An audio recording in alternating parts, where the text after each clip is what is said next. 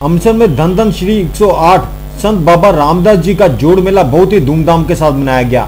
इस अवसर पर जानकारी देते हुए प्रधान हरदेव सिंह ने बताया कि जहाँ पर देश विदेश से संगत आती है और हर किसी की मुराद पूरी होती है और इस मौके पर लंगर का भी खास प्रबंध किया गया और शाम को कबड्डी व कुश्ती के मुकाबले भी करवाए गए। साथ ही विजेता टीम को नगद इनाम दिया जाता है। इस मौके आरोप उनके द्वारा नौजवानों को नशे ऐसी दूर रहने की भी प्रेरणा दी।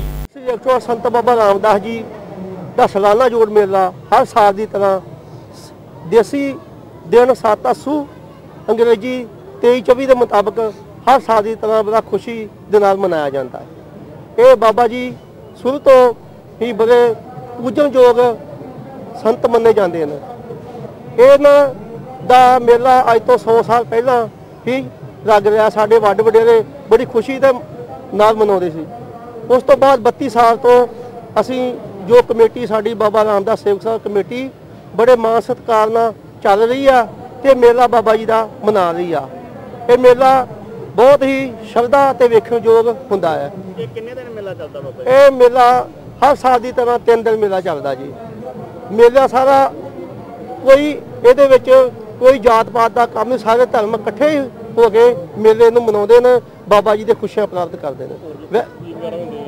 ਹਾਂਜੀ। ਹਾਂਜੀ ਅੱਜ ਦਿਨ 24 ਤਰੀਕ ਨੂੰ ਖੇਡਾਂ ਤੇ ਕੁਸ਼ਤੀਆਂ ਘੋਲ ਕਬੱਡੀਆਂ ਵੀ ਸ਼ਾਮ ਨੂੰ 4 ਵਜੇ ਤੋਂ ਲੈ ਕੇ 7 ਵਜੇ ਤੱਕ ਵੇਖਣ ਯੋਗ ਹੁੰਦੀਆਂ ਨੇ ਮੇਲੇ ਵਿੱਚ ਬਹੁਤ ਜਾਗਤੀ ਲੜਕੀ ਅੰਮ੍ਰਿਤਸਰ ਸੇ ਅਮਨ ਮਾਹਲ ਕੀ ਰਿਪੋਰਟ।